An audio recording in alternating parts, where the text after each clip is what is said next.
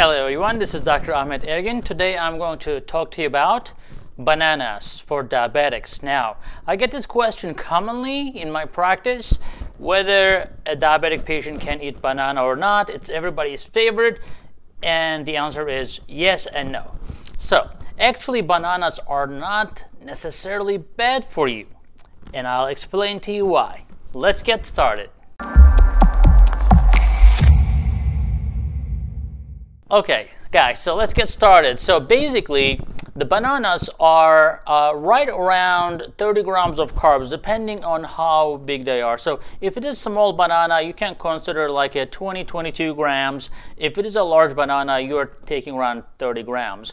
Now, not every carbohydrate or starch is created equally, right? So that's based on their glycemic index. So the glycemic index of a banana is right around 50, which is not bad. Below 55 glycemic index is very acceptable.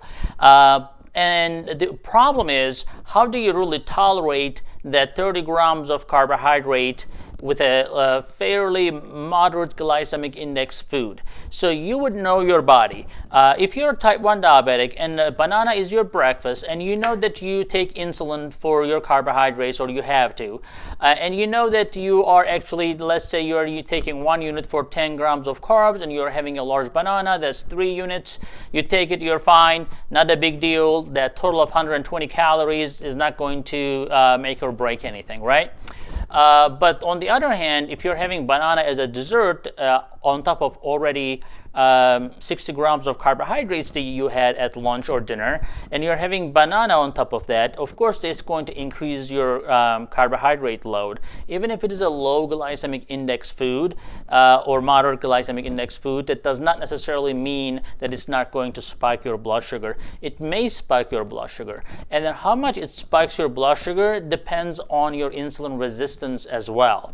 So uh, you can test it yourself. So you can, for example, make a very quick test for yourself. You can get up in the morning, let's say your blood sugar is 130, and you can have that banana without having anything else and check in one hour. And take your medications if you're on medications and see what, what happens with that banana. Because the same banana, although yes, banana is a better uh, fruit than watermelon, because watermelon is a glycemic index of almost 80, uh, which spikes your blood sugar way faster than a banana. So banana is still fairly good fruit for diabetes, but again, again is not totally innocent. So individually, uh, it can still spike your blood sugar if you're insulin resistant or if you're not taking enough medications to be able to make the insulin to be able to um, take care of that carbohydrate that comes with the banana. So everybody is going to be different. So that's why uh, people get always confused because their friend eat the same thing or their uh, neighbor eats the same thing. Their blood sugars are okay, theirs are not.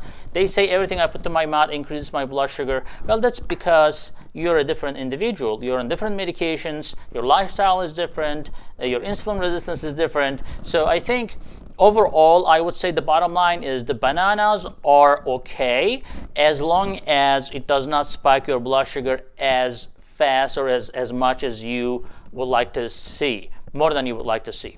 Uh, so again, as I said, uh, as a general rule, rule of thumb, it is an okay fruit. Small banana is not going to hurt you, but then that's around 20, 30 grams of carbs. So if you're on a low carbohydrate diet, you may want to think about that because on a low carbohydrate diet, you may want to go below 45 or 30 grams per meal, uh, and then that banana will throw you off right away. That means that if you're having that banana, you're not having anything else, any other carbohydrate in that in that meal. So you have to just uh, keep an eye on total carbohydrates. But if you are an athlete and you need to go and run a couple miles and you have diabetes, guess what? You, you better have that banana. So it's different from person to person, but it is right. If you're a couch potato and uh, you're not really doing anything, you're like 300 pounds, that banana will spike your blood sugar because you're insulin resistant. Um, now, if you're going to take a walk after that, you can maybe you know get that banana and go for a walk or do some exercise. But again uh, it depends on the individual and it's best to see it for yourself. See you in the next video guys